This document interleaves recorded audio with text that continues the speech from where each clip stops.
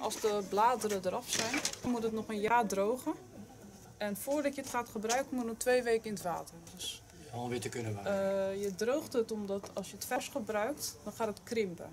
Dus als je dan een vlechtwerk gemaakt hebt en je hebt iets heel strak gemaakt en het wordt kleiner doordat het krimpt, Ja. dan gaat het loszitten.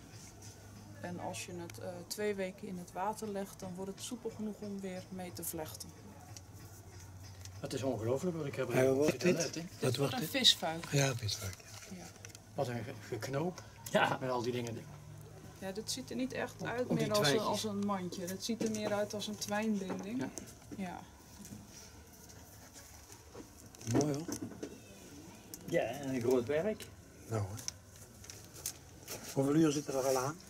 Ik, eh, dit is nu de tweede zaterdag. Oh, Ja. Dat is nou, dat gaat toch, nou, dat gaat toch snel. ja, maar als je één rondje gehad hebt, dan ga je meteen alweer een Oh, ja. Ja, ja. Dus dat gaat ja. best wel... eh, Maar Ja. ja. ik denk het begin al is uh, Het begin is wel veel werk.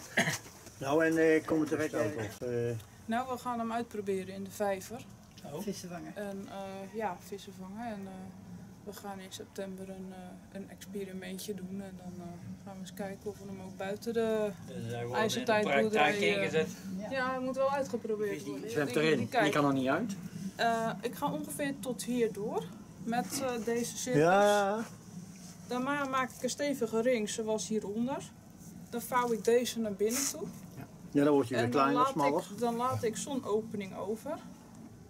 En daar zwemmen die vissen dan in. En die, die opening dat loopt dan een beetje zo. Ja, ja, Dus De Dat komt. is niemand terug kunt. Ja, ja, ja. dan is de bedoeling dat ze de weg terug niet meer eh, Ja. Ja, kunnen Ja, dan moeten ze net dat ene gaatje vinden. Ja, moet, eh, ja, dat, was het idee. Wilgen, hè? Ja. Ja, Dat een uh, wespenfles? Er wil er wel heel veel mee gedaan. Ja, niet, niet alle zijn geschikt. Nee? Sommige die, eh, Hebben jullie ook zijn, mee? er Ja. zijn misschien honderden soorten waarvan er maar 10, 15 geschikt zijn. Bedankt hè. Ja, dankjewel hè. Dank je.